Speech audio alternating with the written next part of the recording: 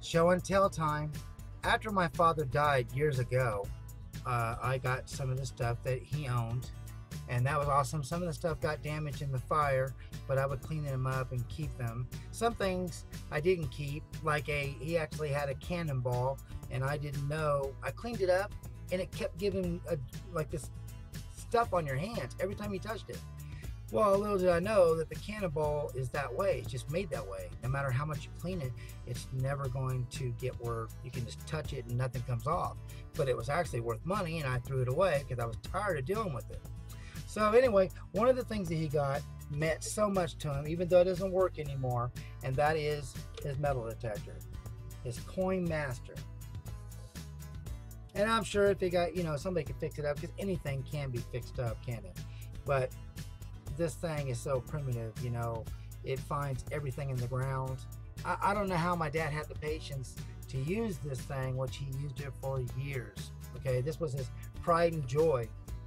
Here's the end of it, right here. He found coins, he found rings, he found necklaces. Sometimes when he was digging, he'd find coins and money, dollar bills actually. They were ripped up and stuff, uh, torn, but in the ground. He found cannonballs, he found just so much stuff uh, I actually videotaped it. It's up on it's on a, a, DVD over there. I should have actually put it in this video. Anyway, I did use it in the beginning when I got here. Uh, I discovered it, it, finds everything. So you're digging up everything in the ground. Um, and in my yard, I found absolutely no coins whatsoever, not even a penny. But I did find that one coin that I made the video for, or uh, show and tell, the uh, the five cent piece that I found. But that wasn't with the metal detector. I was just digging in the ground uh, underneath the uh, kitchen floor. So anyway, um, I decided to buy a metal detector.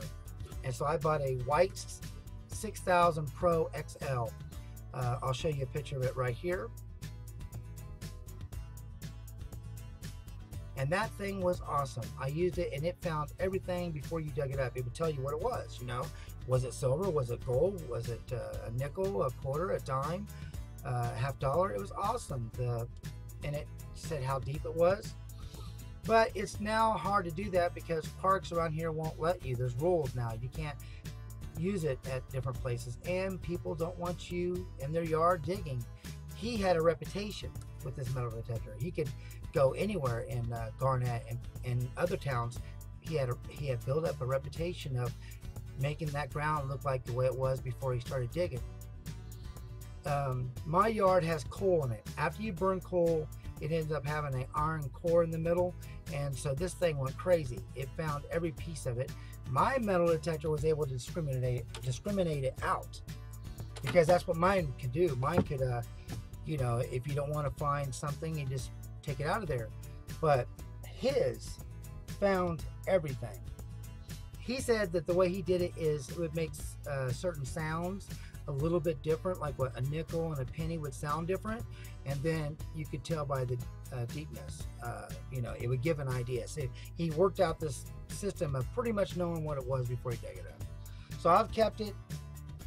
I don't know if I can ever get it fixed, you know, fixed up again. This part right here broke. Um, I'm not sure if it'll even turn on anymore, but I've kept it and I will keep it for as long as I'm alive because it meant something to him. And anything that he owned meant something to me. You know, I love my father. Okay, you guys have a good one. Thank you for watching and God bless.